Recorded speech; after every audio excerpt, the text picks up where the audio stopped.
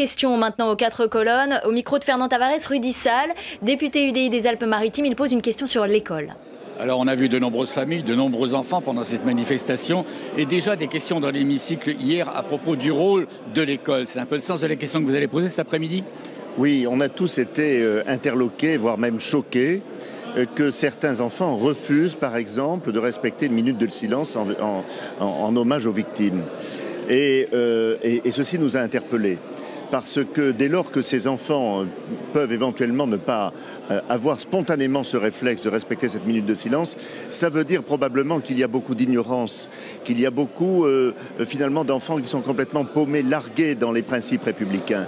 Et nous avons donc le devoir de faire en sorte que l'école soit encore plus présente, qu'elle soit encore plus républicaine.